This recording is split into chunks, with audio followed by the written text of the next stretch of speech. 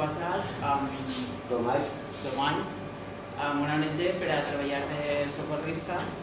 Ell és socorrista, sin Castella també. Parla un poc més fort o sigui, que és que ella darrere de tot. Ja ha passat alguna volta que parlen, al meu ente, conseguir parlar és ella, parla Miranda Barcí. I doncs això, ells han vingut ara eh, ens explicaran un poc la situació tant política, geogràfica com social que es viu allí a Lesbos, la situació que estan vivint ara per, per efectes de la guerra i bueno, tenim, els tenim ells en primera persona per a que, per a que ens conten un poc què han viscut, com s'han sentit i un poc també pues, què podem fer des d'ací també. I res, un fort aplaudiment.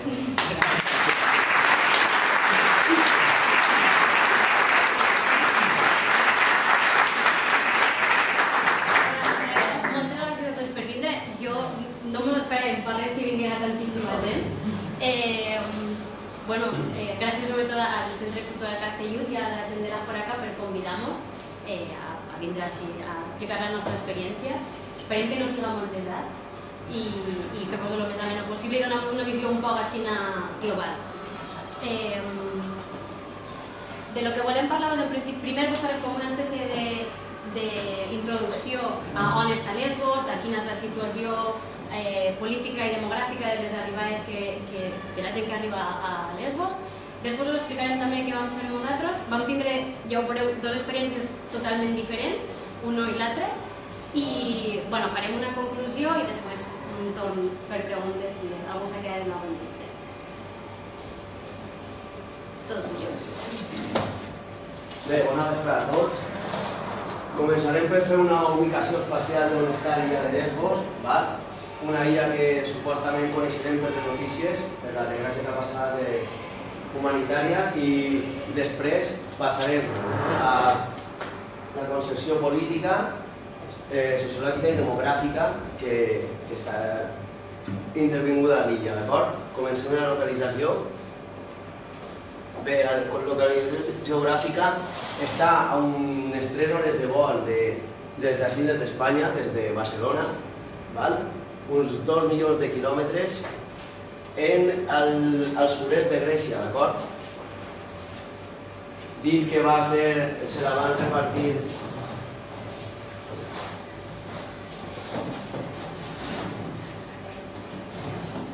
Vale, va ser repartida en propietat durant tota la història entre Grècia i Turquia i fins al segle XVIII va ser propietat russa.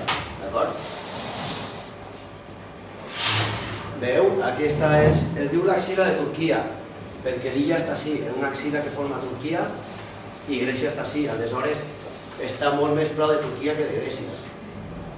I ahí teniu l'illa de Lesbos. Vale. Eixa illa, per característiques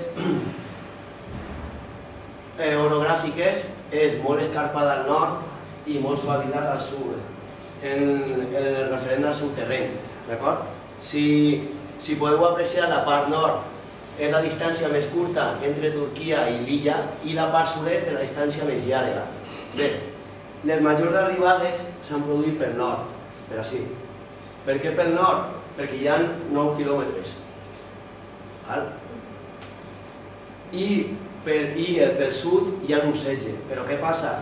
Que per el nord la mar és molt més escarpada i molt més, molt més acusada, l'oleatge és molt més superior, el geu del nord és molt més acusat que el geu del sud, el geu del sud és molt més calmat, com el nostre Mediterrani.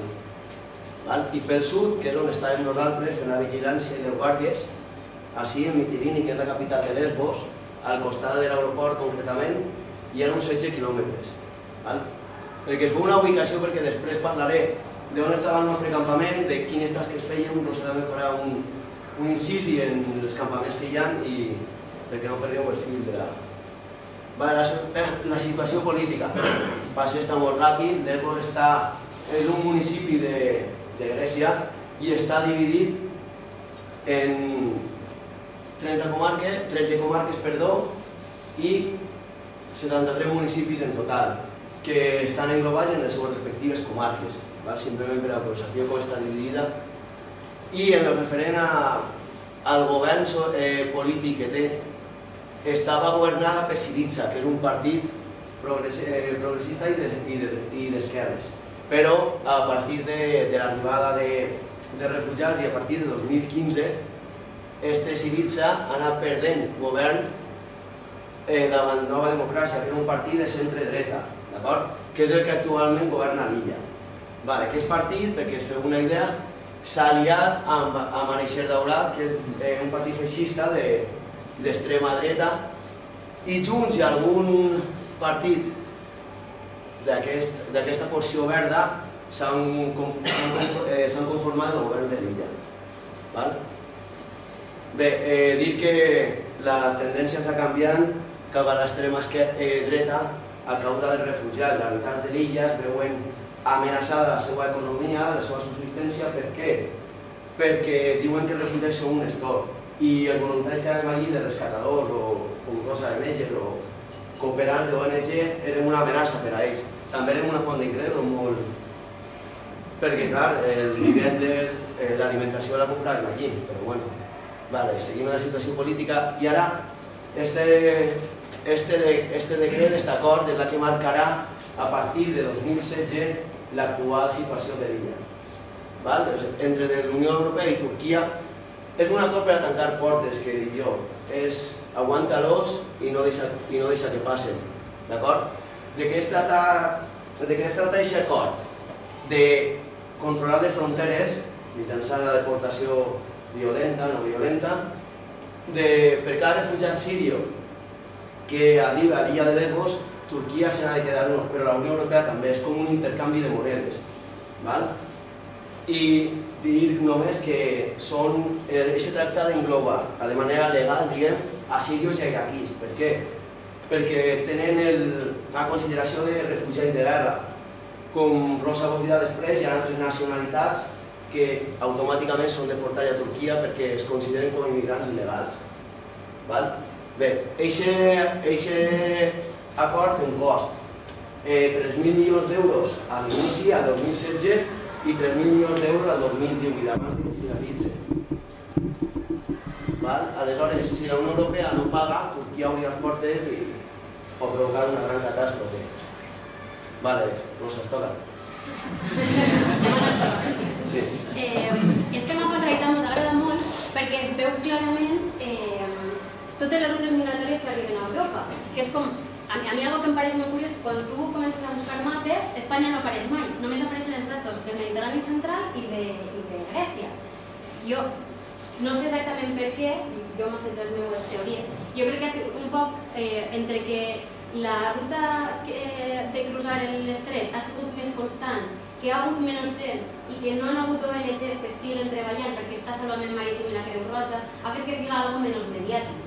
Però no ens podem oblidar que a pesar de que l'any passat la, la via mediterrani central va ser la més uh, utilitzada, la grega és la més fàcil perquè està superproper i que l'espanyola ha doblat les xifres. O sigui, en Espanya el, en el 2015 van arribar 7.000 persones, en el 2016 14.000 i en el 2017 28.000. Este any no han arribat, fins a finals de març en van arribar 5.000. Anem en camí de tornar a duplicar les xifres dels de, de anys anteriors. I és com que el que es veu és una tendència de, primer eh, va ser Grècia en el 2015-2017, es firma l'acord amb Turquia, es tanquen portes, després Itàlia, 2017-2017, es firma l'acord de Líbia, es tanquen portes i eh, la gent segueix arribant a Europa. Això vol dir que igual no està com vosaltres ser sirians. Eh, una cosa que és també curiosa quan arribes allí és que es dones compte que hi ha gent de moltes nacionalitats en, en les notícies en realitat deixen sírios i les lísies afganos. Jo la primera volta que vaig veure algú del Congo vaig pensar, però fill meu, tu quina volta has pegat algú de Bangladesh? I les preguntes, i fa 9 anys que estan viatjant. Han passat per més països des que ens podem imaginar. I esta gràfica és que es veu claríssimament quan s'aprova l'acord amb Turquia i quan s'aprova l'acord amb Líbia. O sigui, i a pesar de que les xifres de, de que arribava a, a les illes gregues en l'estiu de 2015, doncs, en octubre van arribar a més de 216.000 persones, que és una barbaritat. Um, realment el que diuen les ONGs és que les condicions de vida eh, que tenien aquelles persones quan arribaven a Lesbos, per exemple, eren igual o, o que les que n'hi ha ara. És a dir, ara les condicions quan arribava tota aquesta gent a les illes, la ruta pels Balcans estava oberta, i això volia dir que el que arribava a Grècia podia seguir el seu camí cap amunt. Ara el problema és que el que arriba a Grècia pot passar a ser dos anys esperant a, a poder eixir de la illa directament. Aquestes són les, les xifres de, de Lesbos, que la línia blava és la del 2018, que es veu clarament una tendència en, en augment, i el problema de Lesbos és que el 50% de la gent que arriba a Grècia passa per Lesbos. I des de que es va firmar l'acord de la Unió Europea i Turquia, eh, el que s'instaura és el que diuen eh, la política de tancament de les illes. Això vol dir que com eh, es considera que cada persona que arriba a Grècia és potencialment deportable, perquè es considera que Turquia no és un país segur per ells, l'única manera de tindre-los controlats i saber on està cada persona és que no eixen de les illes. Perquè si tu eh, deixes que la gent vagi a Atenes, els perds la pista. Entonces, des de març del 2016, la gent, um, en els paperets que són com el seu DNI, que és el, el que les identifica com persones demandants d'asilo, tenen un sello vermell que indica que no poden eixir de la illa. O sigui, això vol dir que, clar, a part d'estar vivint en la presó, que és un camp de refugiats, estan vivint en la presó que implica viure en una illa que és molt xiquitiva i que a més tota la població de la illa està concentrada en la capital que és Mitilini. De fet, els camps estan situats molt propet de, de la capital, que són les estrelles que es veuen. Um, Karatepe és un dels camps, és un camp que està pensat per famílies, està gestionat per l'Ajuntament de Mitilini i de ACNUR, que és l'Agència dels Refugiats, i n'hi ha 1.200 persones. El problema és que Karatepe, 1.200 1.300. Karatepe està pensat això, per famílies i pares i mares solteros, el que passa és que una volta han arribat al tope de la seva capacitat, no accepten més gent. I tots els xiquets que segueixen arribant no poden anar a Karatepe, que és un lloc que té serveis més... més hi ha, hi ha escola, ni en activitats per xiquets, que és altres camps, o sigui, que Mòria principalment no, no té. Pitca és l'altre camp, que és on va estar Josep, que us contarà meravelles, meravelles d'ell, eh, que és on va la gent que es considera vulnerable, i Mòria és el camp que més sentit parlar en les notícies, perquè on està arribant ara ja tot el món, perquè els altres estan a tope de capacitat. Mòria és un, és un posto que era una presó, era una, una presó militar, fet, i eh, després quan veieu les fotos veureu, perquè està a tope de cortines i diverses valles. Eh, Moria tenia capacitat per unes 2.000-2.500 persones i ara mateix n'hi ha 7.800. O sigui, vos podeu imaginar el, el panorama. Vale.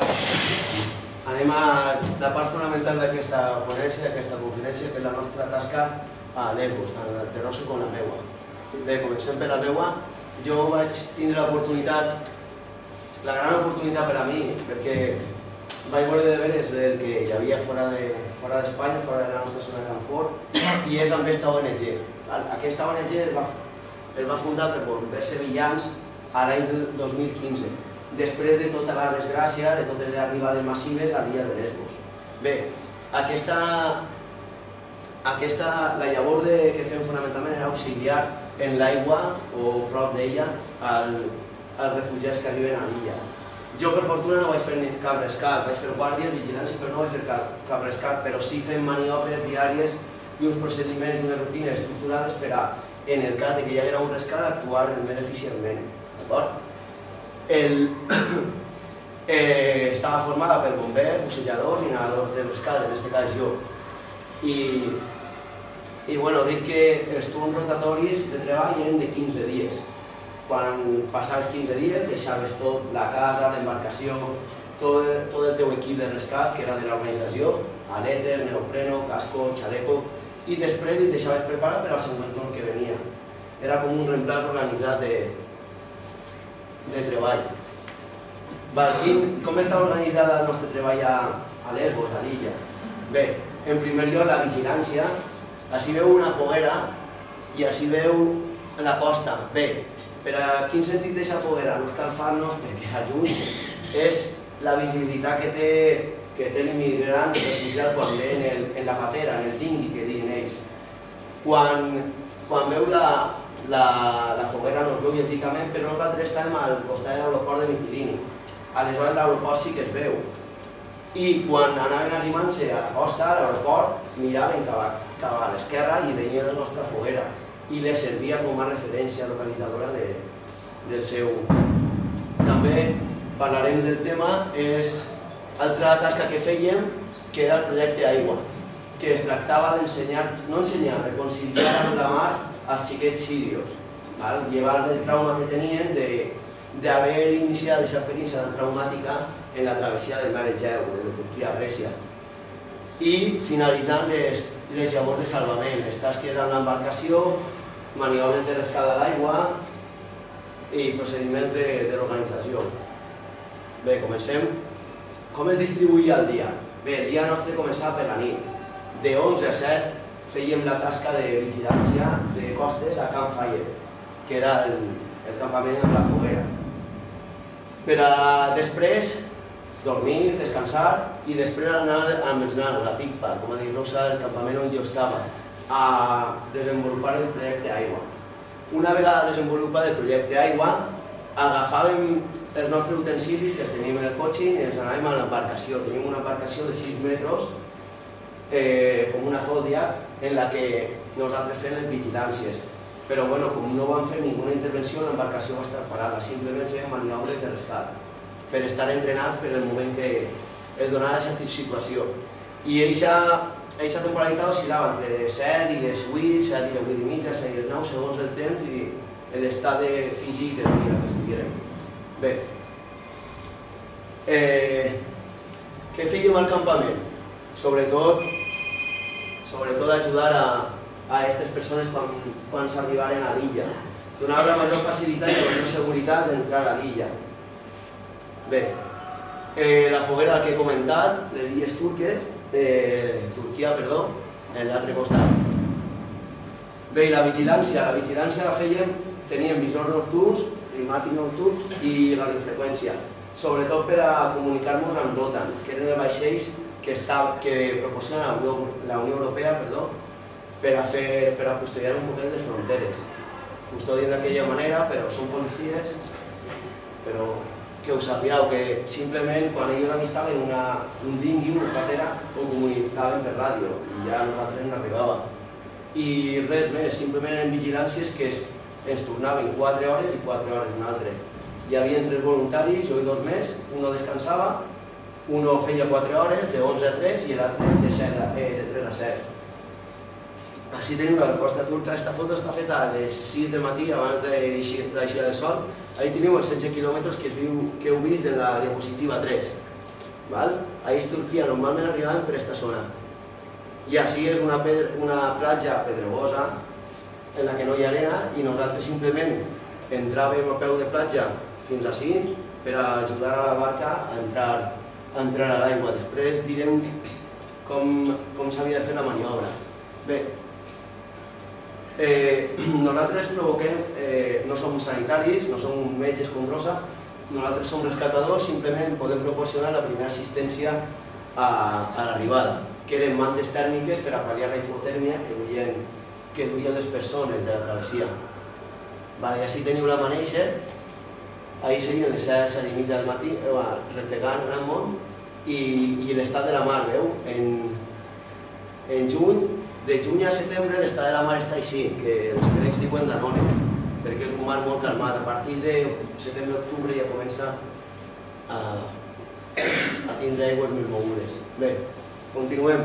Aquest és el projecte Aigua, en que jo personalment vaig col·laborar en la seva redacció per enviar-lo a organitzacions institucionals per veure si hi havia vies de financiació per a ell. Al final no van haver, va haver un reconeixement però res més. Bé, Eixe, en 2016 els companys que van anar abans, la primera edició, van fer el projecte que es deia Somos Agua, que era, es tractava de dur els xiquets de Picpa durant 5 dies, 3-5 dies a la setmana, depenent de l'estat de la mar i de l'estat climatològica del dia, i de buscar una reconciliació amb la mar, perquè penseu que aquests xiquets han vingut en el dingui, xiquets de 4, 5, 6, 7, 8, 9, 10 anys, han vingut en el dingui una travessia de 3 hores que no sabien ni on anaven ni què feien allí. Aleshores és posar-se en situació i posar-se en situació de què feien aquells nens. I bé, el que van, el que van veure els meus companys és que en el moment a un xiquet, com qualsevol xiquet que tenim així, li donava suport psicològic i confiança en l'instructor, el xiquet deixava de tindre temor o fòbia al, al, mig, al mig estrany que és la mar i estava, estava a gust. Bé, jo quan vaig arribar no em vaig trobar ninguna situació tètrica, sinó que vaig trobar xiquets que volien jugar i volien un poc d'atenció, simplement. Van, aquest projecte va tenir un reconeixement mundial del NUR, però no es va donar cap, cap financiació, ni cap mig, ni econòmic, ni material, simplement el reconeixement. Bé, per evitar això, si veu la, l'expressió psicològica que té un xiquet al donar-li quatre llapis i que pinte, que pinte el que ha viscut. Això és real, això és de Picpa, el campament, un xiquet. Així teniu, inclús està la bandera grega dibuixat per ell, però així teniu l'experiència d'un xiquet. I la visió, i la visió global de la situació de, que ha tingut el xiquet. Bé. Vale, així som nosaltres, tot l'equip que van conformar aquests 15 dies, de, de dreta a esquerra, que sóc jo, aquesta és Carmen, una voluntària, aquest Paco, altre voluntari, aquest Claudio, el meu instructor, bomber, Juan Carlos, altre voluntari, i David, infermer. Bé, eh, David, Claudio i jo eren els únics que prou mai despostejava part, de, part del viatge. La resta, que són voluntaris, eh, amb els seus respectius treballs s'ho pagaven ells per, per gaudir de l'experiència, o no gaudir, o veure l'experiència. Què, què significava estar allí, veure com xiquets, xiquets, així teniu 3 anys, eh, 11 anys, 11 anys, 7 anys, 4 anys, bé, gaudirem de la mar i puguem fer una classe i disfrutar de la mar. D'acord? Bé, el cas de aquesta xiqueta li diuen Luna i Luna té 11 anys. Bé, Luna eh, va veure un familiar, va viatjar en dingui, va veure un familiar com caia a la mar i com el van perdre. Bé, Luna en 2016 no volia veure el mar en pintura i els meus companys de l'edició anterior van aconseguir que, que jugaran al mar. Bé, no sols això, Luna va aconseguir nadar, i nadar a croll i esquena perfectament, igual que un nen que va a la piscina d'ací de Castalla. Aleshores és per a que vegeu el, la significància del projecte, que en si sí que té un valor, i un valor añadit. Bé, eh, dir que el nostre, el nostre mecanisme de treball era, per exemple, eixe dia em tocava a mi ficar-me a l'aigua, eh, duia el traje perquè el gel està gelat, el gel no és mediterrani, està molt més gelat. I els voluntaris m'aguantaven els xiquets fora de l'aigua, amb, esto, amb, amb joguet, jugant, i jo me l'enduia eh, en funció de l'edat i les seues característiques de domini del medi aquàtic, a l'aigua me l'enduia. Els de 3 anys agafava uno. Eh, Rania i Dania, per exemple, que eren bessones i tenien 10 anys, agafava dos. L'una l'agafava soles, m'enteneu? És, jugaven en funció del... vale. I així va ser un dia que no vam poder eixir a la mar. I vam dir, què fem? Vam fer una classe d'educació física, com al pati del col·le de, de qualsevol, de qualsevol centre de primària. Van fer exercici de coordinació, de psicomotricitat, jocs, i els nens s'ho passaven, s'ho passaven divinament. Val. Anem a l'última de les funcions, abans de passar al rosa. Bé, així tenim les tasques de salvament que feien nosaltres. Bé, què fèiem? Nosaltres eh, simplement fèiem una, un treball de control i provisionament de, de, l'equip vale, de l'equip i i un inventari del que s'havien deixat per fer el, la quinzena anterior i, a, i fer-ho nosaltres, i així continuadament en totes les quinzenes. Bé, també fèiem tasques de, de mecànica bàsica de l'embarcació, com polir la carrosseria, eh, desaiguar el motor, engreixar el motor, i després eh, vale, eh, eh, perdó, vale, després fèiem el, el mecanisme de protocol de l'activitat. Bé, així no vaig... La, la ONG, quan tu vas a fer una, una quinzena voluntària de salvament, es dona un protocol que és inamovible, que és eh, immodificable i que tens que ajustar al peu de la lletra. Per què? Perquè en el moment de un rescat, el dingui tu el tens que encarar a costa en una determinada direcció. El dingui ha d'entrar a costa de proa, és a dir, de la part davantera. Els refugiats no poden baixar per les bandes laterals, sinó que deben de baixar per proa. Per què? Per evitar que volque. També, quan navegàvem, podíem, el màxim que podíem allunyar-nos de la costa de Lesbos era una milla nàutica. Per què? Perquè passar d'aquesta milla entrarem en aigües turques i entrar il·legal en aigües turques significa buscar un problema. Aleshores, això sí que ho tenien clar. I altra, altra tasca molt important era que nosaltres no podíem, en, en la, la llei marítima tu no, no pots agafar una persona i pujar-la a l'embarcació, a no ser que la seva embarcació estigui afonada, perquè seria tràfic il·legal de persones i ahir també buscaríem altre problema greu. El tema és que dius, si està fonant-se la puja, al final la pujaries perquè ha de una vida, però sabries que les conseqüències que tens serien seria la presó. Bé, així tenim el campament de Big Pa. Veu? No s'ha sembrat res en el que eh, ensenyar-nos ara. Bé, Big Pa és un campament eh, que jo portes obertes. En Big Pa no hi ha concertines, no hi ha tanques, no hi ha militars custodiant la, ni policia grega custodiant l'entrada, sinó que Big Pa és un lloc obert, un lloc... Eh, així teniu un mur que vaig, veure adequat fer una foto, veu, tots junts, en cada idioma, i el van pintar els xiquets de, de Pigpa. Bé, Pigpa és un, un campament de Lesbos Solidarity, una, una institució autòctona de, local de, de Grècia, de Lesbos, en el qual va ser un, va ser un campament abandonat que aquesta organització va, va modificar i va rehabilitar. El campament el va proporcionar les administracions locals, l'Ajuntament de Lesbos, quan estava a Siritza, no ara. Bé, en 2012, abans de 2015, que van ser les eleccions gregues, i eh, PICPA eh, dona, dona, dona lloc, dona refugi a refugiats vulnerables. La paraula vulnerable depèn com el context d'on siga. Ells diuen que hi ha dones embarassades, víctimes de tortures, de, de, tràfic, de, de tràfic humà, que també hi havia alguna però personalment no vaig veure res, i víctimes de violència. Bé, eh, que, quina tasca fa PIC pa, per acollir als refugiats? Proporciona aliments, proporciona roba, proporciona menjar, i quan, en el cas de que hi haguera un, un rescat a, a Campfire, eh, voluntaris de PIPA vendrien a ajudar-nos, infermeres, eh, un metge, una psicòloga, per a donar suport la primera assistència al refugiat. Val. I que PICPA té un objectiu d'inspirar la seva metodologia a la societat. En PICPA són autosuficients també. Tenen cultius, intenten vendre, vendre com el bolso de rosa confeccionat amb xalecos, xalecos que després parlarem d'ells. I va.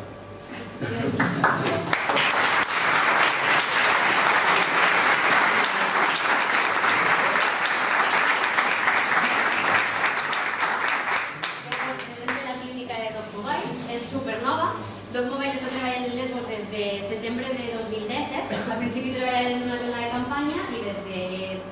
Finals d'any, principis d'aquest any, eh, treballen en la casa de Madera. Eh, Doc Mobile una ONG alemana que també naix en el 2015. Eh, un poc n'hi ha moltíssimes ONGs en la illa que naixen a, a, de la crisi de refugiats i d'aquestes 200.000 persones arribant en octubre. Però ells, eh, la idea que tenen no, és, no, no volen ser un Metges Sense Fronteres, un gran ONG. Tenen projectes xiquitius, estan en Atenes, estan en Lesbos, estan en Patras, i el que fan és agarrar ambulàncies velles, alemanes, i eh, això les permet tindre clíniques legals per tota, per tota Grècia. Um, la sort de la clínica de Dubai és que està en un lloc que és molt xulo, perquè jo no he treballat dins dels camps, he treballat fora, en un lloc que es diu One Happy Family. Um, One Happy Family és un lloc molt especial perquè el 75-80% de persones que treballen com a voluntàries allí són refugiats. Entonces, clar, això crea un ambient molt especial. El lema de One Happy Family és um, treballem amb la gent i no per la gent. Uh, clar, eh, els refugiats són una part superactiva de One Happy Family. Cada mes es fa una assemblea per decidir què està funcionant, què no està funcionant, quins projectes podem començar, què no. Ha vingut no sé qui que sap fer Muay Thai, doncs posem classes de Muay Thai, no sé qui fa ioga, doncs fem classes de ioga. O sigui, la comunitat eh, participa de manera molt activa en, en el que és l'evolució de, de One Happy Family. I um, una cosa que m'agrada molt sobre poner en valor és que coneixent les condicions de vida en les que, i la situació vital, tot el que han passat tota aquesta gent, que tots els matins troben l'energia de dir va, avui me'n vaig a cuinar 500 persones a, a One Happy Family. Crec que és una que té molt de valor i que a tota la gent que anem com a voluntaris allí encara us aporta més que si vas a treballar en gent europea.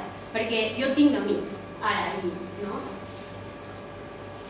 Per això, perquè us imagineu un poc, és com una espècie de centre cultural i és com una fàbrica, una antiga fàbrica, i el que han fet és llevar tot el que hi havia dins de la fàbrica i alrededor han posat com coses, està el camp de, de volei, està la pista de bàsquet, hi ha això, un parquet més xiquets, la clínica que està allà al fondo...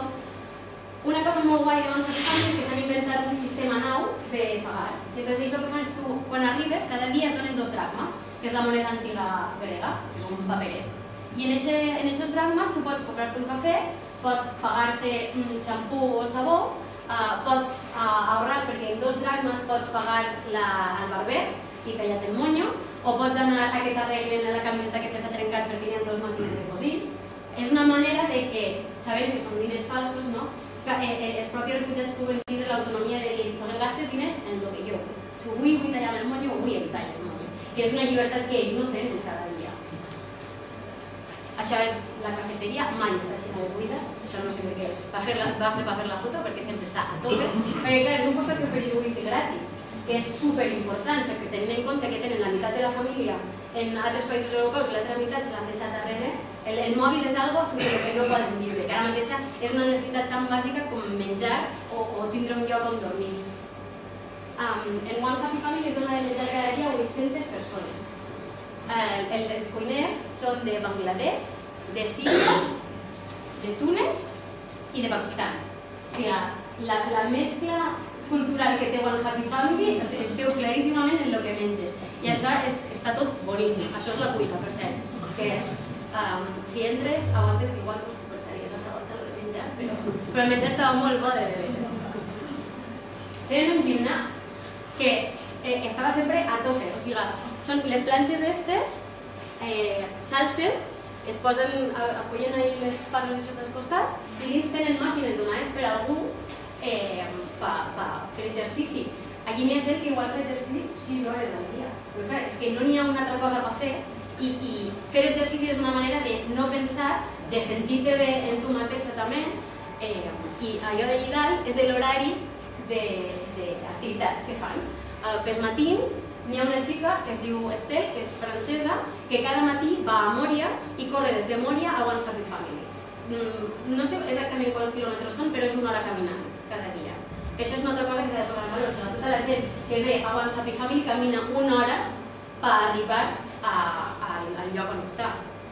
Per exemple, també fan ioga, um, fan això, Muay Thai, fan karate, fan ioga per xiquets. Hi ha un espai, per exemple, que és el Women's Space, que és un lloc on només poden entrar dones, on poden llevar-se el vel, poden fer classes com maquillatge, eh, pintura també, fan classes d'educació sexual, per exemple, que també és molt important. I n'hi ha una escola, que l'escola està portada per una ONG que és israelí, que és una cosa que, que és, bueno, és, és molt xula, vull dir, són, eh, és, és enemistat que, que tenen la deixen a un, a un costat, el, la ONG la pasta la posa eh, els israelis, però els, els profes són refugiats. I és guai perquè tenen cinc classes. I, i ara mateixa van 160 xiquets. S'ha convertit en el punt educatiu més gran de la illa. Eh, 5 classes 160 xiquets, evidentment, no caben tots a la volta, donen classe i el que fan és fer classe per turnos. Uh, ara fan classe uns quants, ixen fora i juguen, després es tornen a canviar, eh, però els, els profes que tenen són refugiats de la comunitat i entonces, clar, als afganos les donen classe en farsi, als uh, iraquís i als sirios les donen classe en àrab, als kurdos les donen classe en kurdo, als africans les donen classe en francès, que és una, una cosa molt important, perquè a més els xiquets, molts d'ells, eh, no han anat al col·le mai, perquè quan van eixir dels seus països encara no estaven en edat d'escolarització i quan han arribat a Grècia no n'hi ha opció, directament. Aquesta és la clínica per dins, és, eh, hi havia dos consultes i la sala d'espera, que és això. Eh, cada dia s'atenien pues, entre 35 i 50 persones que tenint en compte que, que n'hi ha dos consultes, així més a saco, no? no són molts pacients, però l'oportunitat que ens oferia que la clínica de Documentari estigués fora dels camps és que no, depenia, o sigui, no tenien pressió. Vull dir, si avui veiem 30 pacients, veiem 30 pacients, veiem 50, veiem 50, perquè li dedicàvem a cada pacient el temps que necessitava. Que això crec que és una molt important que ells no tenen mai. Sempre tot a saco, eh, treure's la feina de damunt, crec que va ser una sort treballar fora. He estat tota la posat perquè volia bueno, és, és part de l'equip, no perquè com l'equip va rotant, però en realitat la posat perquè volia posar en valor a tres personetes, que són aquestes tres, que són els traductors. Que sense ells la nostra feina allí no tenia sentit, vull dir, nosaltres no podíem fer res si ells no estaven amb nosaltres. I són gent que um, té unes històries molt dures darrere i troba l'energia per treballar entre les ONGs cada dia. Um, Mustafa i Mohamed, que són estos dos, eh, S'alçaven per matí, venien a les 11 a treballar amb nosaltres, nosaltres estàvem de 11 a 6, venien a les 11 a treballar amb nosaltres, a les 6 se tornaven a Mòria, treballaven en una altra ONG fins a les 3 del matí, i de quan en quan, si feien falta reforços. En altres ONGs, pels matins treballaven també en altres traductors. Eh, Sami, que és el de Reyes, és d'Afganistan, eh, té 20 anys, i eh, tota la seva família està fora d'Afganistan, perquè son pare ha treballat en els suecs, treballava en la universitat, Eh, té dos germans que són enginyers civils, un d'ells ha treballat en els americans, una germana que és informàtica, té tota la família desperdigada per Iran, Turquia, Alemanya i Holanda, perquè treballar en sigui, en persones estrangeres en Afganistan és sentència de mort. Entonces ells saben claríssimament que no poden tornar a Afganistan perquè es volien matar uh, Mustafa, en canvi, és un dels famosos menors no acompanyats. 20, eh, 0 anys, però quan va arribar a, a Lesbos en tenia 17 eh, va arribar a Isol, és fill militar a Afgano, i Sami i Mustafa portaven dos anys eh, en Lesbos com nosaltres vam arribar. I quan nosaltres no anàvem, les van llevar l'estampa vermella que vos dia antes perquè se'n pogueren menjar a ells, que va ser una festa molt gran. Eh, Mohamed és el que té la pitjor història, perquè Mohamed és de Mosul, és d'Iraq, i quan tu li preguntes, ell diu que l'única conegut ha sigut la guerra, des del 2001, des de la invasió d'Iraq. Diu que sempre és molt graciós, quan ho conta, i conta supergraciós que tu estàs destrossat i moltes superlacions, però estava a punt de morir, tres voltes. La primera volta perquè quan de sa casa per buscar, eh, anar a buscar el pa, un francotirador el va disparar i li va passar la bala entre les cames. La segona volta perquè va explotar un cotxe bomba quan ell passava pel carrer i li va salvar la vida passar pel costat, o sigui que en el moment que reventava el cotxe bomba va passar pel costat un cotxe blindat. I la tercera volta va ser en el 2016, quan una bomba va caure en sa casa, quan estava tota la seva família dins, i ell va ser un supervivent. Mohamed Shak, bueno, però és que esta de la història, vull dir, cada dos per tres les històries són totes així. Eh, Mohamed eh, només li queda un tio que està en Alemanya, però com no és família directa, no té dret a la reunificació familiar i entonces porta sis mesos vivint en una tenda de campanya a Mòria. Tots venen de famílies amb pasta, perquè el que no té pasta no arriba. Vull dir, um, Sami, tota la seva família té formació universitària, Mohamed eh, tenia, tenia pasta perquè ens ensenyava vídeos de sacada i dels cotxes que tenia, havia estudiat un any d'odontologia, vull dir, la gent que arriba a Grècia no són pobres, precisament. El que fem en la clínica era bàsicament eh, donar medicació, és el que més fem, perquè clar, el simple fet d'accedir a un paracetamol per ells és impossible i perquè Doc Mobile era l'única ONG que, que donàvem eh, medicació. Eh, que clar, moltes voltes era, venien pacients en, en receptes del metge, me les quedàvem, anàvem a la farmàcia, les compràvem i el dia següent tornàvem i les donàvem l'antibiòtic o el que fos. Paracetamol les donàvem a punta pala. Eh, fem també tractament de de pacients crònics, que també és, és complicat perquè mm, venen sense res, han perdut papers, um, epilèptics, per exemple, que diuen que són epilèptics, dius, vale, però necessito alguna més. Eh, això, hipertensos, eh, bueno, de tot, bàsicament. Però era, o en realitat el centre estava pensat com, com un centre d'atenció primària, amb constipats, xiquets, un poquet de tot. Però una cosa molt guai que feia tot molt era fer acompanyaments a l'hospital i concertar eh, visites en el sistema sanitari, que eren com la porta d'entrada. Perquè si les acompanyes, si va un metge eh, a explicar la història del pacient, normalment li fa més cas. Perquè el sistema grec està desbordat. Vull dir, l'hospital de, de Miquelí és l'hospital que de base ja és precari, que sempre eh, tenen el catxondeo de dir que ni tan sols les dones de, de Miquelí volen parir en Lesbos, prefereixen anar a a parir i, i, i no donen abast. A més, clar, hem vist molta gent en, en seqüeles de les tortures i de la guerra, fractures mal consolidades, eh, eh, gent amb molt d'estrès posttraumàtic, eh, tímpanos reventats, i són coses que en Lesbos no es poden tractar, perquè l'hospital no dona per això, i, i s'han d'esperar a que les reubiquen a un altre, a un altre país. Però una, el que més ens hem trobat i que ens ha sorprès no perquè ho esperes, però nosaltres mmm, no ens esperàvem en tan, tan gran dimensió i perquè no teníem suficient formació per això, és la malaltia mental. O sigui, les condicions de memòria són tan dures que la majoria de coses que veiem eren malaltia mental. Hi ha un psicòleg de Metges Sense Fronteres que diu que si tu a una persona sense, amb una història vital normal com la nostra, eh, sense experiències prèvies traumàtiques, la poses a viure en les condicions de vida de memòria, en un mes acaba desenvolupant una malaltia mental.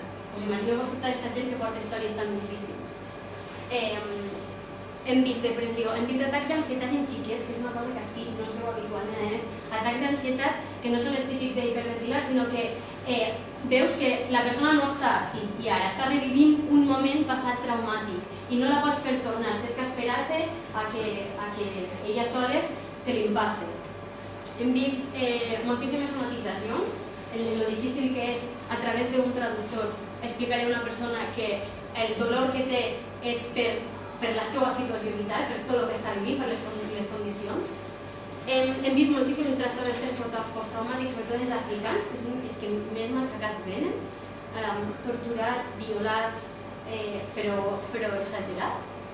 I, um, i hem, hi ha intents de suïcidi tots els dies. Una altra cosa que deia una, una psicòloga de Metges Sense Fronteres és que eh, l'única cosa bona que tenen les condicions de vida en Mòria és que no hi ha la suficient intimitat com perquè es pugui suïcidar perquè antes de que arribes a poder-te suïcidar algú t'ha parat.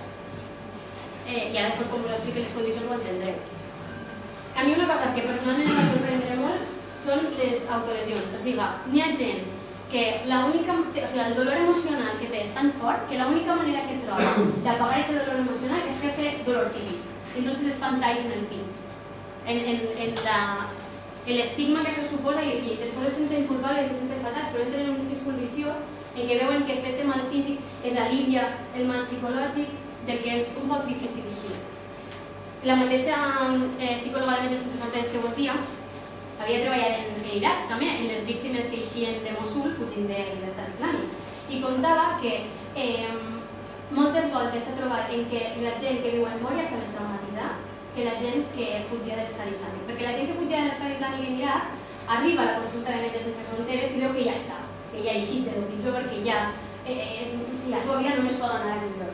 La gent en, en, en Lesbos i en Moria, el que passa és que ells es pensen que quan arriben a Europa, Europa va acollir-los en els braços oberts i que no va faltar los de res. I es troben en, en unes condicions inhumanes en què no poden controlar res de la seva vida, perquè mm, no poden aconseguir menjar ells soles, perquè no saben si van a deportar-los a Turquia, no saben si van a acceptar-los en els països d'origen, Um, no, és, és la, lo que les mata en realitat és la incertidumbre de no poder controlar res de lo que passa en la seva vida. I que a més les seves condicions d'ara mateixa són les, pitjors que han passat mai. O sigui, perquè us faig una idea, Això és, les fotos evidentment no són meues perquè Mòria no es pot entrar, només pots entrar si, eres, eh, si treballes en una ONG dins del, dins del camp. Els periodistes evidentment no poden entrar, es colen per fer les fotos i aquestes fotos són de, de Al Jazeera, d'un periodista. Ara mateix tota aquesta zona està tan saturada del camp que tota aquesta zona han posat palers en terra i tendes de campanya perquè no caben i entonces posen les tendes de campanya dins i fora del camp, en els passillos, en els accessos. Eh, les condicions en, en Moria, això com us deia antes, ja estaven preparades per 2.000 persones i n'hi ha 7.800. No n'hi ha eh, res que puguin fer en el seu temps, no n'hi ha educació, eh, no, no se les ofereix res a fer en el seu temps d'oci. El, els lavabos n'hi ha un láser per cada 100 persones, una dutxa per cada 200, a mi, dime això i dime que no n'hi ha seus és el mateix. No n'hi ha aigua corrent, per exemple. Recordo veure pacients que tenien pedres en les renyons i dir és que tens que remuntar l'aigua, és que no n'hi ha aigua corrent, no hi ha. Directament, no podes llevar la cara, directament. Lo que sí que hi ha són coles, a punta pala. Pa almorzar, pa dinar i pa sopar s'han de fer almenys dues hores de cola i si t'empanes i vas pel final, corres el riesgo de que quan arribes no quede menjar. El almorzar és un croissant de bolleria industrial. Era un croissant i una poma, ara ja només és un croissant. El dinar és a base de pasta i, um, i um, um, el sopar a voltes és un tros de pa i un tros de formatge. Eh, la situació és tan tensa que qualsevol tonteria pot fer que esclati una baralla que desemboca una batalla campal que acabi tenint que fer que la policia brega intervinga en masos lacrimals mentre el mes que jo vaig estar allí va haver dos voltes en què la policia grega va entrar eh, a parar una baralla. Mm, hi ha una situació d'inseguretat eh, molt important, o sigui, hi ha gent que prefereix viure fora del camp que és un camp d'oliveres que n'hi ha del costat, antes que seguir vivint dins de diuen, les condicions de, de, del camp són roïníssimes, tot bé de fam, està tot no tinc aseo, no tinc res, però per lo menos sé que puc dormir tranquil per la nit.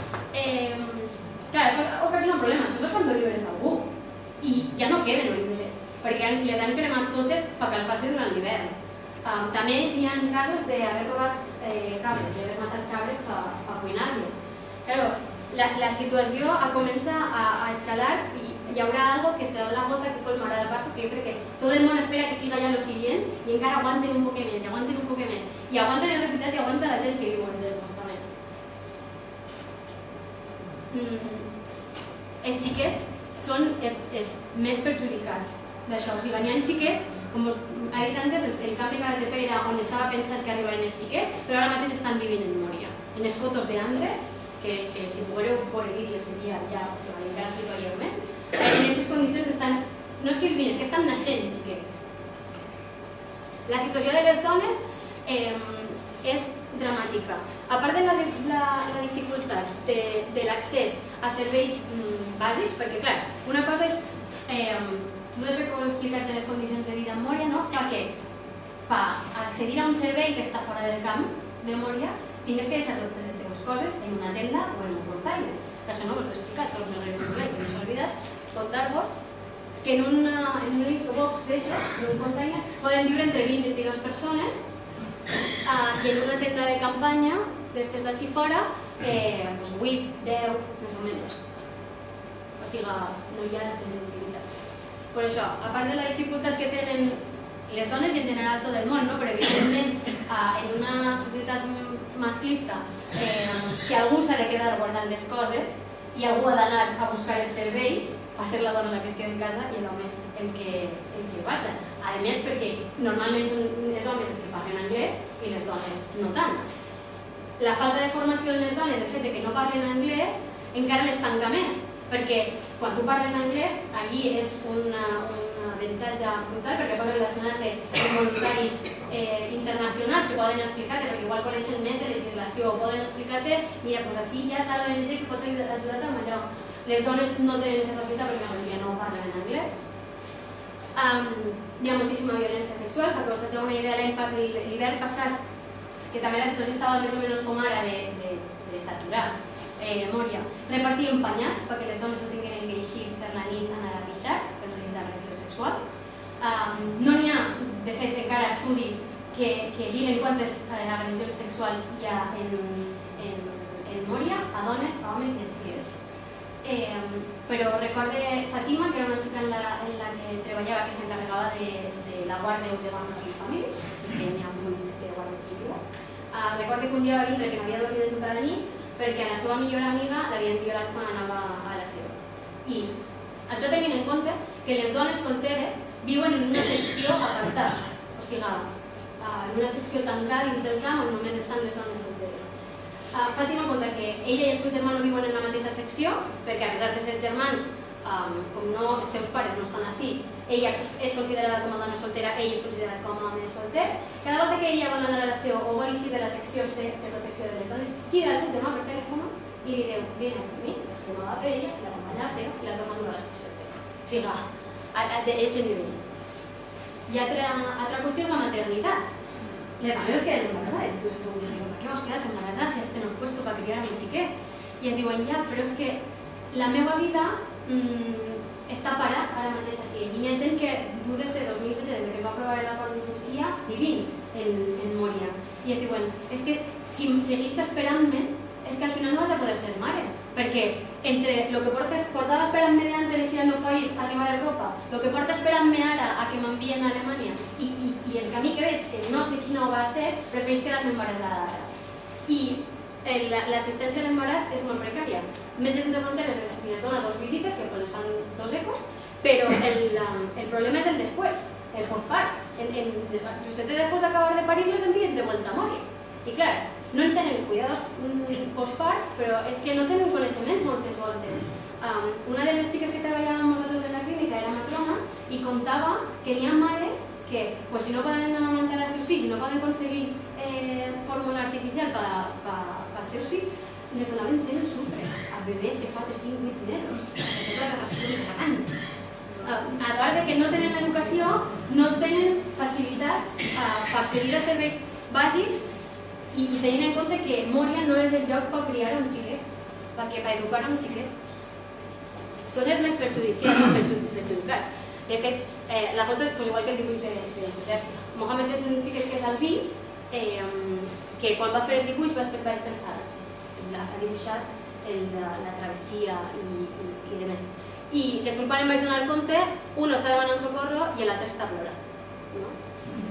Um, el problema dels xiquets és que no estan escolaritzats, molts no han tingut treda a l'escolarització antes ni la tenen ara, L'altre és que venen en experiències prèvies que a part del pas, del, del pas en la barca ja és traumàtic, experiències prèvies molt traumàtiques, eh, i que estan desenvolupant, si estan passant les anys en què són una esponja i que estan absorbint tot el que veuen en un entorn molt hostil, en, en, en una situació en la que els seus pares no les poden proporcionar l'educació adequada perquè els seus pares estan patint, perquè tenen, bueno, perquè, pateixen depressió, ansietat, o perquè estan destrossats i no saben com seguir avant, no saben quin futur donar als seus fills. Eh, de fet, recordo la història d'un pare que, que en One Happy Family hi havia una tenda, que ara ja no està, amb la que es podia pagar un drac, més i entonces, um, que hi havia un vestit penjat i ningú arribava a replegar el vestit. I entonces un dels voluntaris va dir, era un vestit per la seva filla, i va dir, no va dir que vaig a per un ganxo i va ser el vestit. I quan se'n va així, es va posar a plorar l'home, perquè dia que no és només el, intentar ara el vestit i no poder-lo agarrar, és que era la sensació que tenia en totes les coses que estaven passant en la seva vida, era el, el tindre-ho però no poder arribar a tocar-ho mai estar en Europa però no poder arribar mai a, a, a tindre el que jo volia tindre. Eh, una cosa que m'he oblidat dir ara, que no he recordat de lo de dones, que vam fer una cosa molt xula. Vam tindre la sort que com nosaltres érem tres, i érem tres metges, perquè vaig anar amb dos amigues de la uni, que arribàvem a la volta, van aprofitar, ja que arribàvem nosaltres, per iniciar un projecte que era la clínica per les dones, que era de 11 del matí a 2, eh, només s'atenien dones en la clínica la gent que les atenia eren dones i les traductores eren dones. I en això ens vam donar compte que realment no era que les dones no estigueren venint per, no sapigueren o perquè no ho necessitaren, sinó perquè les condicions que les oferien les clíniques no eren les adequades perquè elles se senten suficientment còmodes de parlar, de parlar en tranquil·litat de la seva salut. I entonces vam veure, per exemple, moltíssima, moltíssimes malalties de transmissió sexual, vam tindre l'oportunitat de desenvolupar un protocolo i estar en els inicis del projecte va ser molt guai, però en realitat ens va fer donar-nos compte de lo abandonades que estan i de lo invisibilitzades que estan per les pròpies ONGs també. I ja l'última cosa de la que volia parlar eren els menors no acompanyats. Eh, el 40% de gent que arriba a les illes gregues són xiquets i d'aquest 40%, el 13% són menors no acompanyats. Són generalment xiquets entre 14 i 17 anys que viatgen soles, que són, um, són um, caldo de cultiu pel tràfic eh, de persones, però brutal, o sigui, hi ha moltíssim tràfic de persones en Europa des del 2015 per la crisi de refugiats, hi ha gent que està aprofitant moltíssim, eh, i sobretot els, els menors no acompanyats que arriben a Atenes, molts d'ells l'única manera que aconsegueixen subsistir és prostituir-se i eh, tràfic de drogues. I la de prostituir-se no ho estic dient perquè m'ho haig dit algú, vull dir, Mustafa, que ho he presentat antes, eh, el primer dia que va arribar a Atenes li van oferir un diners per tindre sexe amb ell. Vull dir, el primer dia. O sigui, en realitat s'està vivint una brutalitat que, que estem, eh, no es veu, no hi les notícies i no es veu.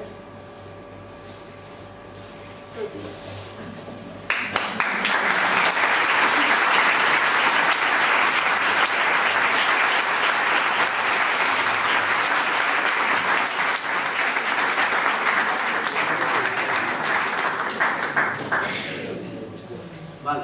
Després d'esta gran exposició eh, hem decidit eh, barrejar les conclusions i dividir-les en dues diapositives. Una irònica, que serà positiva, i després rosa, vos, vos mostrarà la realitat de què passarà a l'illa.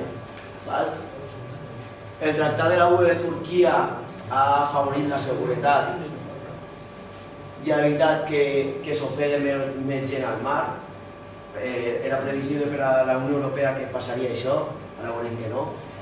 Eh, la situació regular dels refugiats eh, tan sols la tenen, com ha dit Rosa, uns quants i són refugiats de guerra, els sirios i iraquís, la resta no, són irregulars i no sabrà què passarà amb ells ni amb els xiquets.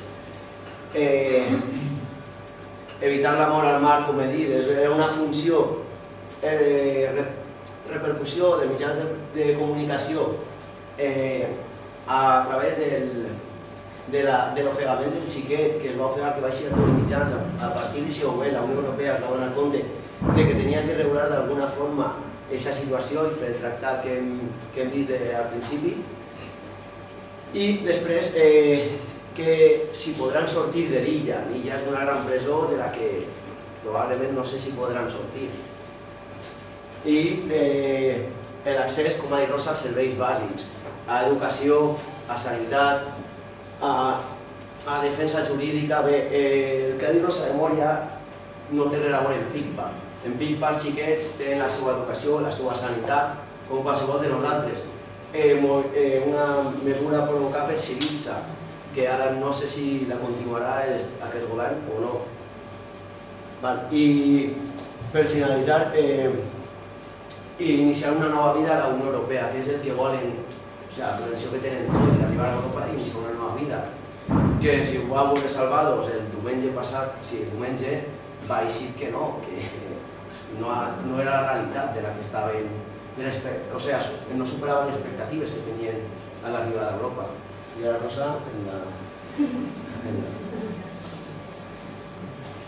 O sigui, a part del futur que les espera a aquests xiquets que mm, no tenen escolarització, que estan desenvolupant-se en els millors anys de la seva vida, estan desenvolupant en un entorn que és hostil, aquests xiquets ja partint de zero ixen amb menys possibilitats. O sigui, si nosaltres eixim um, a jugar de zero, ells ixen de menys 30. Quin, quin futur els espera? Encara que arriben als països futurs, o sigui, als països eh, nòrdics, Alemanya, Noruega, a Suècia, que és on valen arribar tots, eh, o sigui, va costar-los molt adaptar-se a, a, a l'escola, adaptar-se a, a una manera de viure diferent. A part del xoc cultural, van un pas darrere. Um, hi ha gent que fa dos anys que està en Lesbos. Hi ha gent que arriba a Lesbos pensant-se que ha tocat d'Europa i això vol dir que poden anar a Alemanya, poden anar a llocs on les polítiques per refugiats són més fàcils. I es donen compte que arribar a Grècia implica que la teva sol·licitud d'asil està en Grècia i que l'únic lloc on poden acceptar hauran de viure en un país, si ells accepten, hauran de viure en un país que ells senten com a hostil perquè està tractant-los fatal, perquè viuen en les condicions en les que viuen i perquè la policia um, fa detencions esporàdiques sense motiu i poden passar 24 hores en, en presos sense, sense que les expliquen el per què. Senten que és un país que està abusant d'ells i que no les està ajudant i, i el dia que es donen compte que aquestes són les seues úniques possibilitats, uh, es trobes destrossades. Les ONG són un parche, realment. O sigui, les ONG estan cobrint el hueco que els governs no estan cobrint. No, no serveix de res. O sigui, anar-se'n allí a fer de voluntari és, és molt guai, és una cosa que em parla molt de tot. O sigui, però realment has de ser conscient que estàs posant un parche que útil no estàs sent. Estàs vivint l'experiència tu. Quan eres útil realment, esperint així, posats davant de tots vosaltres, explicau que vosaltres ho conteu, que s'inicia un moviment ciutadà, perquè és que Espanya ha acceptat 11% de refugiats que s'havia compromès. El 11%, que és molt poc, eh? Um, i això és altra, quan la Unió Europea deixa de pagar a Turquia, a Líbia o mm, deixa de pagar els campaments, perquè la Unió Europea està pagant perquè els campaments de refugiats eh, aguanten en Grècia, mm, què, què anem a fer? O sigui, el que està clar és que la política de migració de la Unió Europea no està funcionant i, i que jo, sincerament, crec que quan d'ací uns anys eh, expliquem això a les, a les noves generacions que vinguen, a part de que sentirem vergonya, serà la mateixa sensació que nosaltres ara tenim quan diem o així com els alemans van tolerar que, que s'arribara a aquell punt. Jo crec que d'ací uns anys nosaltres arribarem a aquest punt. Tindrem que demanar perdó de no haver actuat antes.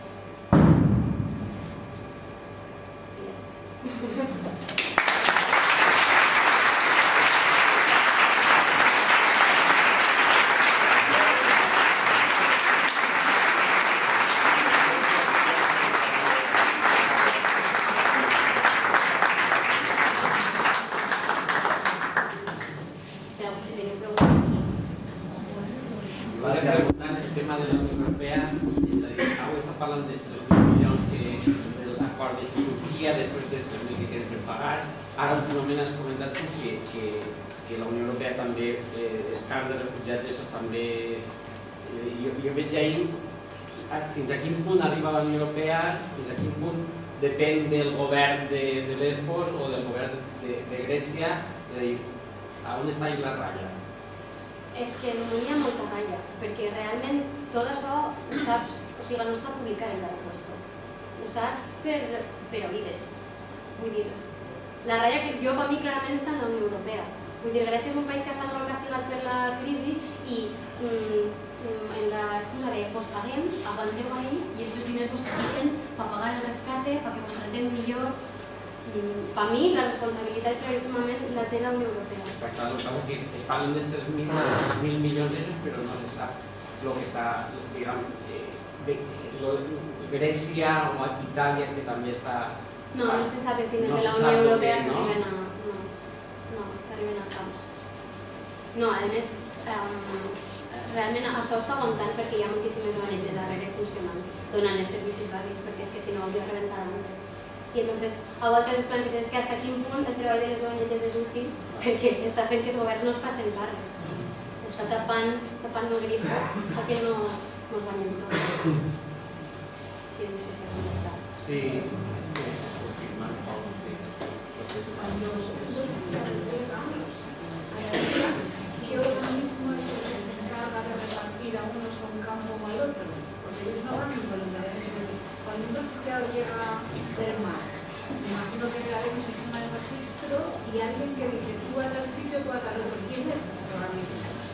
Cuando llegan, eh, lo recogen en autobuses de gobierno, o sea, Eh, Chelsea, ¿no? A ver, en Pigpa, sí, bueno, en Pigpa, eh, los refugiados, eh, en Valencià, vale, els refugiats que arribaven, en Pigpa, per exemple, els refugiats que arribaven en Camp Fire anaven directament a Pigpa.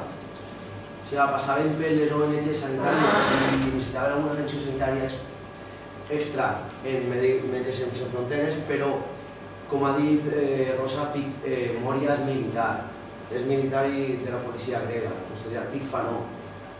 Aleshores, cadascú, diguem, es busca la vida quan arriba. Big Pass l'excepció, però ara mateix quan arriben les fiquen a tots en un bus, si són les 4 del matí passen la nit en el bus, si és horari que Moria està obert fins Miguel, van a Moria, que és on està el camp de registre, a Karatepe ja no accepten a ningú més, con lo qual tots van a parar a Moria.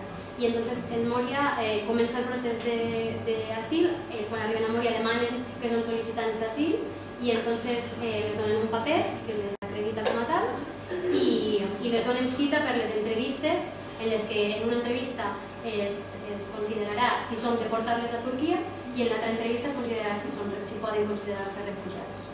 Però clar, és un procés que pot durar anys. Vamos, tots acaben anant a morir ara mateix perquè FICA i Karatep estan tancats. Perquè poden permetre's el lujo de dir no tenen més. Josep, has comentat la, la reacció hostil a que de vosaltres també, Sí. com a, de, per part de la població de Sí. Explica això. Bé, eh, allí, a veure com ho explique, el, les forces de, de, forces i cossos de seguretat de l'estat grec són d'extrema esquerra. O sigui, són reacis als refugiats. Eh, perdó, perdó. Aleshores, si nosaltres anem a ajudar els refugiats, ells el miren com una, com una mosca que està... Val? És, o sigui, la setmana passada, o el mes passat, vaig llegir una nota de premsa en la que deia que havia, havia hagut un moviment d'extrema d'extrema dreta que van eixir d'Europa una reunió contra... Eh, van haver palisses contra refugiats i la policia no va fer res. Aleshores, la impassibilitat dels policies són, són nazis, són gent... I el que ha dit, el que ha dit Paco Puglilibro de la Unió Europea el, també destina una, una partida pressupostària a Frontex. Frontex era una empresa concessionària de polaca en sede en Varsovia que es custodia en vaixells militars en fragates eh, tota la frontera. Aleshores tu, allí en Mitlin, el port, està ple de fragates, de fragates militars de, de molts països. I per això és el... Eh, a més, el comentava Rosa, van a una tienda a comprar i els miren mal. Si du la camiseta de Primark. O si pregunten qué hacer aquí, entonces digo, no, de vacaciones. Y ya tienen B. Si tienes que estar en una ONG, sí. Jo volia dir una cosa, Josep. És les activitats que has dit que feies tu en els xiquets, Sí. en altres companys. Per als xiquets, cadascú era d'un d'un lloc diferent. I com, com, com es comunicaves amb ells? anglès, la clase de natació en anglès. No, no, però de tots els xiquets, si eren, eren de... No, Sí, no, jo- els traductors no queden cosa, però no. No, no, a mi no hi ha inclòs. Clar, ¿De en el no. qué? De tots els, a veure, cada xiquet era d'un país diferent. No, en Sirio. En Ah, Pipa son tres Havia entès que era... sirios i sirios de iraquis, que són. En Pipa tens que tindre aquesta consideració de refugiat, de, de refugiat de guerra, que té aquesta distinció, diguem. Si no té aquesta distinció, te deporten a Turquia. Quan tu arribes a les xiques de que venen soles i tal, quan venen a l'illa, quin futur és el que té un xiquet de 14 anys que no té a ningú? Quin futur té aquest xiquet allà? Al principi les fiquen en Moria en una secció que n'hi ha especial per menors no acompanyats. Eh, però el govern grec té l'obligació de cuidar d'ells i entonces, conforme van podent, van passar-los a una casa d'acollida que està en la ciutat, en el centre de, de Mitilini. I crec, si no m'enganye, que eh, ahir treballen junts ACNUR, que és la, la Comissió de Refugiats de la ONU, i el, i el govern grec per passar-los al, al continent el més ràpid possible. Dir, es passen a, a temps. Però, clar, com arriben a Grècia, el país que les ha d'acollir és Grècia. I el seu futur està en Grècia. A no ser que siguin suficientment com, i tinguin suficientment diners com per pagar els traficants perquè les porten a, als països del nord d'Alemanya, a, a Europa, que ho fan. Ja que han arribat des d'Afganistan soles a, a Grècia, poden arribar des de Grècia soles a Alemanya. I eh, com veieu vosaltres la situació eh, a dos anys vista de, del territori més, més social que no tan polític? igual? De Lesbos, Sevilla, Sí. una... O sigui, eh, els xiquets es faran majors sense ninguna possibilitat de desenvolupar la seva vida, sense ninguna oportunitat d'encontrar treball, eh, molt... A, a més, però dime, Penseu que no n'hi haurà ningú tipus d'avanç per el procés? Estarà, estarà estancat? Jo crec que s'estan llistant, que les ONGs s'estan situant, per exemple, Doc Mobile donava assistència en una, en una tenda de campanya i ara dona en una, en una clínica fija. La, la sensació és que cada volta van llistant-se tot més. A més, els projectes que van quedant-se són projectes de, de llarg termini, vull dir, One Happy Family, la gent prendre voluntariat gent que va quedar-se 3, 4 mesos, 6 mesos. Jo crec que cada volta banquista se més. Sí, perquè a més és que és que no parem de dir que és un hotspot, un, un punt d'arribada, un punt calent, però és que això s'ha convertit en una ruta migratòria i no va parar d'arribar gent des de Turquia. I no penseu que hi ha un moment crític on passi alguna cosa que... Jo tinc la sensació que és imminent, o sigui, però també la tenia este hivern, quan m'anava informant. I si parlaves en la tele, la tele deia, és que això està a punt de rebentar, està a punt de rebentar. I ara preguntes i dius, això està a punt de rebentar, està a punt de rebentar. No sé, no sé quin serà, no sé ni quin ni què serà, però la, el, a mi el futur és el vista, o sigui, aguantar, aguantar tal com està. Estan continuant arribant ara, ho vam parlar dos esta setmana. O com la com la tensió informativa està en Líbia i les zones de rescatadors ja s'han anat a la que els mitjos s'acaben, eh, estan tornant a vindre. I Frontex de la Unió Europea la qüestió de fronteres i Turquia no dona bastes. Pero no només els lesbos, no? Perquè focos de refugiats n'hi ha, si m'han estat disparats en molts més llocs, no? Sí, també en relació amb els En, en Grècia està els Lesbos, Samos, Chios i Kos, són les quatre illes. Però en Jordània perquè també hi ha molta gent. Sí, claro, vull dir, evidentment, els refugiats que arriben a Europa són una mínima part de realment ja els, els principals països que, que acullen són els d'alrededor. Jordània, Líban, Turquia, vale, parlem fatal, però és de 3,4 milions de refugiats ara mateix. El Líban són 4 milions d'habitants i un milió són refugiats. Nosaltres no som els que més estem acollint, precisament. Habrá otras unas experiencias como más eh, bonita, ¿no? Pero entrar en, en esa dureza de, de la vida, ¿no? De, de la situación de Estados Unidos, también tú sabes yo, o sea, al final, dur i ah, no sé, reco- reconfortant perquè ajudes i dur perquè veus com viuen les persones i realista perquè veus el, la part bona que l'estabilitat i la, la comunitat que tenim així. O sigui, la primera setmana flipes i cada volta que algú t'explica la història eh, es destrossa, la segona setmana vas acostumbrant-te i l'última setmana cos- escoltes la història i dius ah, pues la de este, este té pitjor i tot. T'acabes insensibilitzant. I després tornes així i dius, joder, és que el que m'han contat és molt heavy. Sí, jo, és, és el que parlàvem, que ho hem dit, o sigui, jo ho recomano, però també crec que uh, no s'ha d'abusar del voluntariat. Quan algú va fer un voluntariat té que tindre clar que va a un puesto on fa falta i, i, i les condicions en les que va. Vull dir, no, tu no pots anar a donar classes a un camp de refugiats si no ets professor. Dir, això no té sentit. Quan ara ensenyant a dar-se un socorrista o una formació. I, I això hi ha moltíssima gent que va a viure l'experiència.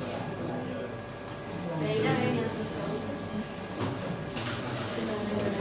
A mí me agradaría que yo escuchar precisamente porque, porque en toda la, charla està molt bé i heu presentat els punts de, de refugiats una vegada arriben a Lesbos, però els motius, falta una miqueta saber els motius de per què arriben a Lesbos, perquè em sembla que a, a vegades no som conscients de que, bon, ara pensem que és la Unió Europea que està, està donant diners a se puguen estar en els refugiats, però no sé si, si tinguéreu la informació, sabeu el, el problema polític, per què ha vingut i per què estan, per què estan emigrant eh, totes aquestes persones, si podeu fer o si coneixeu els motius, si podeu portar-ho. Perquè em sembla que em sembla que ells, com bé heu dit, són persones que no voldrien haver eixit del seu país, que tenien un país que han eixit per una guerra, però aquesta guerra per què ve? Clar, com en el primer mapa veu que les és, vull dir, ha gent de moltíssims països, principalment Síria, Iraq i Afganistan, no?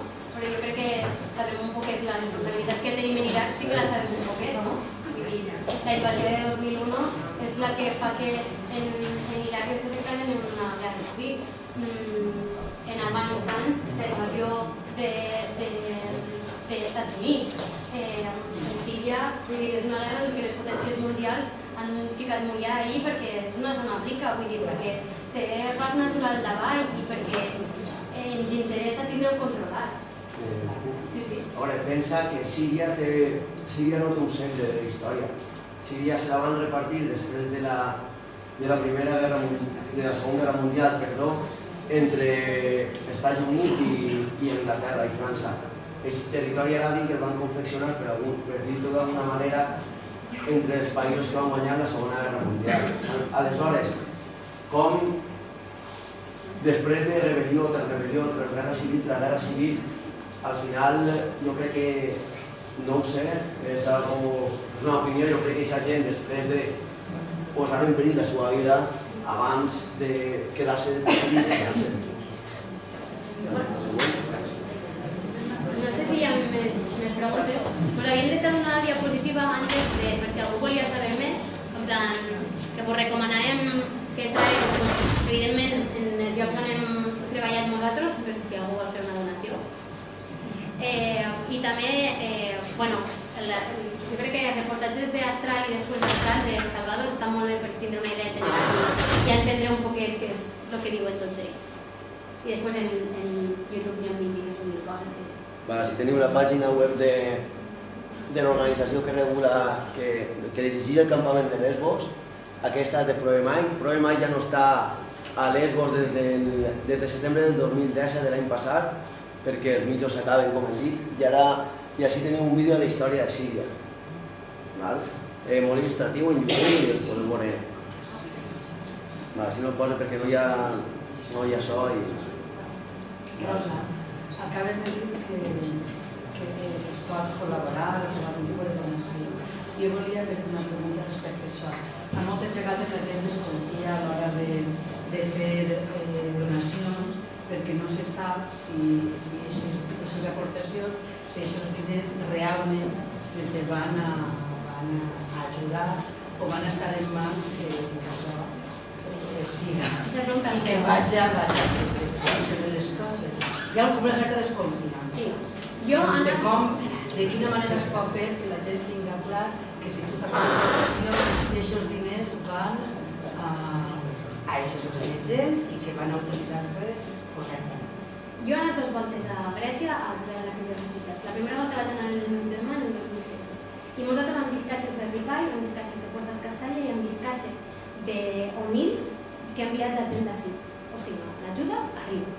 I jo, la meva experiència, en tots els llocs on he treballat, tant fa dos anys com, com esta volta en One Happy Family i en Dog Mobile, els diners es gasten íntegrament en els projectes. Tota la gent que va són voluntaris i s'ho paguen tot. Ningú es paga res, ni tan sols si, vas, si estàs sis mesos i estàs coordinant el projecte durant sis mesos, ningú es paga res. Els diners arriben, us ho asseguro. No n'hi ha manera de compensar-vos. El problema de la desconfiança possiblement sigui a les grans ONGs. Això, això és una altra cosa que també us he de dir. O sigui, quan més xiquití vas a l'ONG, més fàcil és que. Perquè les grans ONGs tenen més gastos i tenen més gestions a fer. I la seva màcula moral últimament està un poc. Bueno, de soci, Arriba. No sé, sense fronteres. Sí. Bueno, pues a. Gràcies per...